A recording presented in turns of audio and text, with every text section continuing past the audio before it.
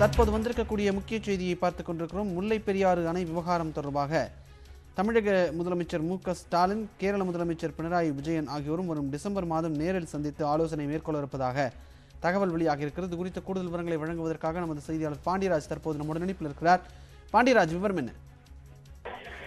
விஷ்ணு நீண்ட ஆண்டுகளாகவே இருக்கக்கூடிய பிரச்சனையானது அண்டை மாநிலங்களுடன் தமிழகத்திற்கும் ஆந்திரா கர்நாடகா கேரளா உள்ளிட்ட மூன்று மாநிலங்களிலுமே நீர் பிரச்சனையானது மிகப்பெரிய பிரச்சனை இருக்கிறது. அதிலும் குறிப்பாக முல்லை பெரியாறு அணை விவகாரம் தொடர்பானது வருடம் தோறும் ஒரு மிகப்பெரிய ஒரு சர்ச்சையும் அதே போல பிரச்சனையும் ஏற்படுத்தக்கூடிய ஒரு விஷயமாகவே இருக்கிறது. தொடர்பாக முல்லைப் பெரியாறினுடைய அணை உயரம் தொடர்பாகவும் அதே போல அணை அதற்கு முல்லைப் பெரியாறிலேயே மற்றொரு அணை தொடர்பாகவும் கேரள மாநில முதல்வர் பினராயி விஜயன் மற்றும் தமிழ்நாடு முதலமைச்சர் மு க ஸ்டாலின் ஆகிய இருவரும் வருகின்ற டிசம்பர் மாதம் சந்தித்து பேச இருப்பதால் தகவல்களானது தற்போது வெளியாக இருக்கிறது இதில் முல்லை பெரியாறு அணை குறித்த அந்த முக்கிய விவகாரங்கள் ஆலோசிக்கப்படும் என்றும் கேரள முதலமைச்சருடைய தரப்பில் இந்த பருவமழை பெய்கின்ற போதெல்லாம் கேரளாவில் ஏற்படக்கூடிய வெள்ளம் மற்றும் நிலச்சரிவினுடைய காரணமாக அங்கு மக்களினுடைய இயல்பு வாழ்க்கை மற்றும் வாழ்வாதாரமே கேள்விக்குறியாகக்கூடிய இந்த சூழ்நிலையில் முல்லைப்பெரியாரிலேயே வேறு ஒரு அணை கட்டுவதற்கு முதலமைச்சர் அதாவது கேரள முதலமைச்சர் தமிழ்நாடு முதலமைச்சரிடம் வலியுறுத்துவார் என்றும் தகவலானது வெளியாகிறது. இதே போலவே ஏற்கனவே உச்சநீதிமன்றம் அறிவுறுத்தியதன்படி அஹ், அணையில் நீர்மட்டத்தை உயர்த்துவது தொடர்பாகவும் மேலும் தம் அந்த முல்லைப்பெரியாறு அணையினுடைய நீரை நம்பியிருக்கக்கூடிய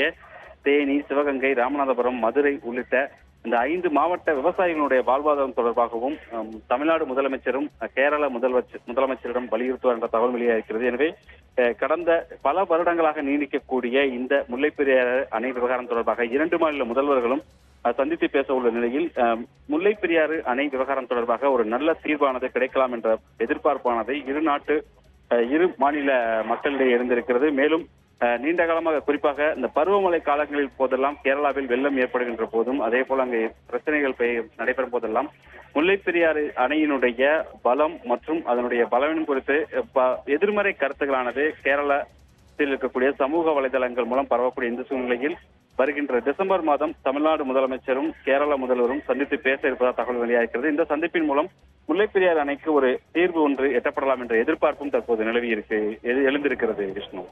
நன்றி பாண்டியராஜ் உங்களுடைய தகவல்களுக்கு.